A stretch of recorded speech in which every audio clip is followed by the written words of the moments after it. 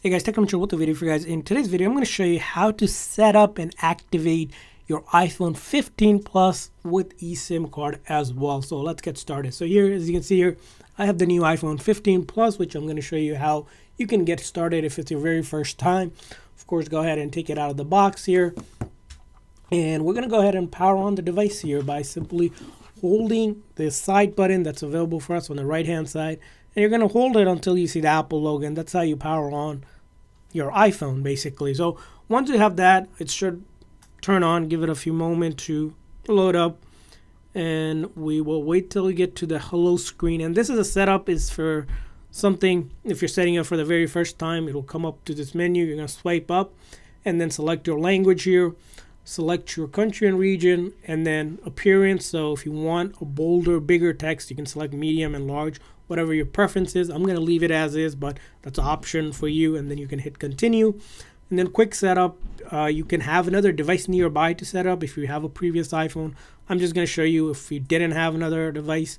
Uh, and then the important part is you need to connect to um, internet somehow, either cellular data or through Wi-Fi. I find Wi-Fi works the best, but you can also use it with your computer. So I'm going to go ahead and just put in my password for my Wi-Fi here. and once I do that I'll hit join and then it will connect me to my internet here so I can go through the rest of the process here the next menu says it will take a few minutes but generally takes 10 to 15 seconds and then I should be able to go ahead and get to the next step in the setup process here and then of course data and privacy basically if you want to read through this but you don't have any other option besides hitting continue and then now you have the option to choose if you want to set this phone up for yourself or if a child under 12 or younger. So I'll just choose it for myself, but that's an option for parental controls. Face ID, you do want to set this up. It'll just scan your face by looking at the camera here. You'll hit continue. I won't do that specifically, but highly recommended you use that in order to unlock Apple Pay and other uh, purchases and subscribing to services. You can always come back in the setting to set it up, which I'll select here. You want to put in a passcode here, you have the option to do a six digit or four digit if you click on more option, numerical and such. So I'll just do a four digit here and go with something super basic here, but you get the idea here. You want to be as you know, don't don't pick one, two, three, four like I am, but of course you get the idea here. But you'll need to have that selected. And then now the next important part comes which is around transferring your data and apps. If you have it from a previous device it can be an android device as you can see here or if you have an icloud backup which most people will have. If you use an iphone you can use that method if you have another iphone next to you you can do a side-by-side transfer if you have a backup on your mac or pc on itunes you can also connect it in and it will load up that data or you can simply start to do a a clean slate by not transferring anything. Now, the next thing you'll get is prompted to do is your Apple ID. It's important to sign into Apple ID if you have one already, so you can use all the Apple services, but you'll need Apple ID in order to download apps, uh, to be able to utilize all of their Apple services like iMessage, FaceTime, and all of that.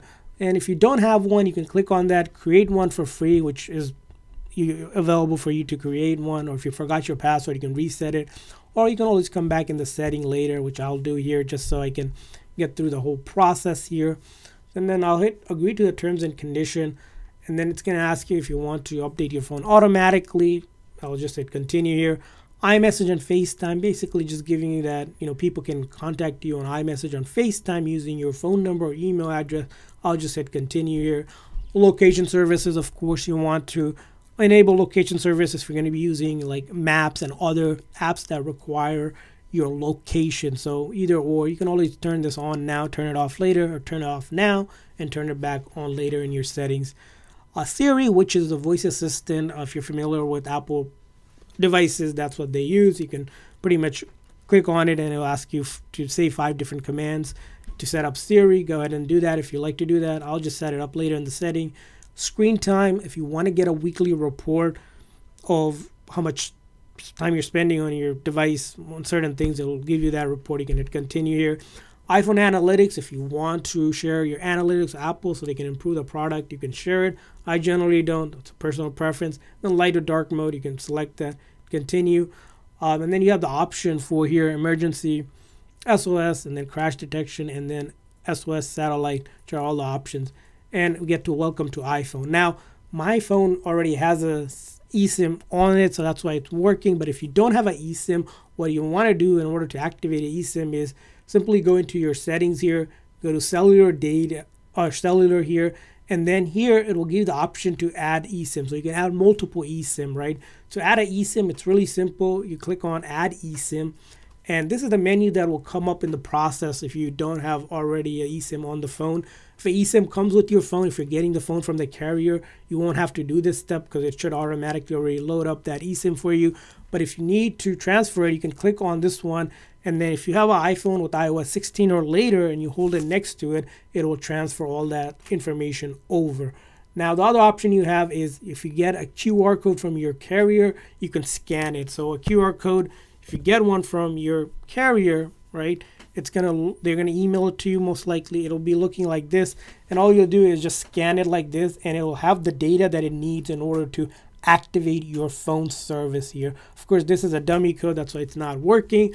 And if you don't get a, a QR code, you can also enter this information that your carrier can provide manually as well in order to get your phone service. But after you do that, you pretty much will get uh, to your to the screen where it tells you your plan and then some things you have like the information here that's listed. And that's it about setting up your iphone 15 plus. I hope this video was helpful.